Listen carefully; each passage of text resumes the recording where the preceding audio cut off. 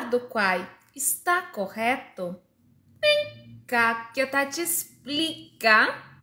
Muitas pessoas falam que você não pode falar do Quai, que Quai não é um nicho, é, que só pode falar do Quai quem é contratado. Enfim, eu vi muitos comentários como esses nos meus vídeos sobre isso.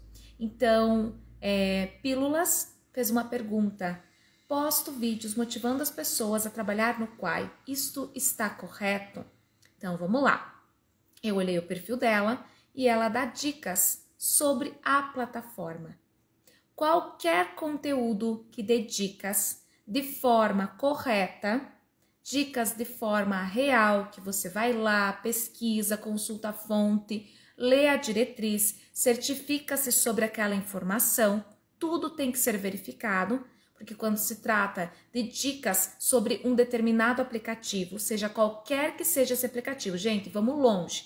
Pode ser no YouTube, pode ser Instagram, você pode dar dicas de tráfego pago, tá? Que, enfim, envolve muitos sistemas e muitas situações. Então, as suas dicas precisam ser comprovadas, elas precisam ser dicas corretas. Você precisa passar a informação da forma certa. E falar sobre o Quai não é um nicho. O Quai não é um nicho. Mas se você dá dicas, seja de emagrecimento, de advocacia, de contabilidade, dicas sobre o Quai, dicas de costura, dicas de maquiagem, tudo isso pode entrar no nicho de educação.